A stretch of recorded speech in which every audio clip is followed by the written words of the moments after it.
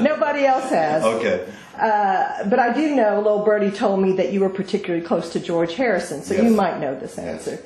Uh, is it true that George Harrison came over to America and remixed the White Album because he didn't like the EQ? The answer is yes and no. he came over. We were working on the Jackie Lomax project, and George was very frustrated with the sound on the album, and so he remastered it. So this was not remixing each of the songs, but actually remastering the EQ on the overall album. And I was with him when he did it. Yes. You were with him. Yeah, absolutely. Do you know I've never heard anyone give an answer to that? Yeah. You know, you know, and I've heard different versions of this, but I read these things, but I was there, you know.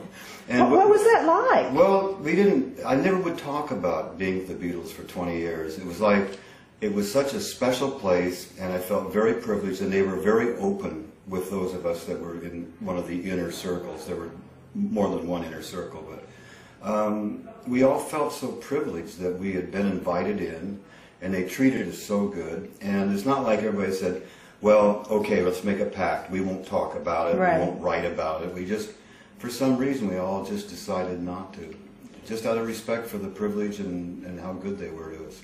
And then what's really interesting is like 40 years later, we're all writing about it. and uh, it's very curious to think about that. And so we, we've talked with each other, a lot of us, and I think time has passed that there is no betrayals now in our stories because you know it's it's all it's all past and all our remembrances now are much softer and much more mature. And Isn't it sad other- yeah. that, like today, you know, Paul and John, all that would have been behind them. They may Yeah. have gotten back Oh, together. there's no question about it. No question. You know, their their relationship was so deep, and so I'll give you an example. Um, a real quick example is I was with Paul, and um, we were in Beverly Hills, and, and I had a private bungalow for him in the back of the Beverly Hills Hotel, and we had extra time, and so Paul's sitting there, and he's working on songs for the White Album. And so I'm sitting here with him. He said, "Well, what do you think about this?" And I said, "Well, why don't you try this?" And da da da. And we were working Ob-La-Di Ob-La-Da, um, back to the USSR and uh, Blackbird. So I'm driving over Mulholland Drive that night. I went, "Wait a minute, was was I just songwriting with Paul McCartney?" You know? so the record comes out and it says Lennon McCartney.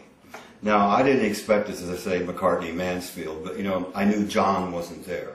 Right. And that's why, and so I asked Paul, I said, well, you know, why isn't that just McCartney? Because John wasn't there. And he said, John and I are such a part of each other, and we are so in sync and, and in tune with each other that, and we have written together so much. When I'm writing something, I can almost hear John saying, no, no, no, let, let's, let's do this instead. So he said, in essence, we are writing together. so that's a pretty, pretty close relationship that those two have.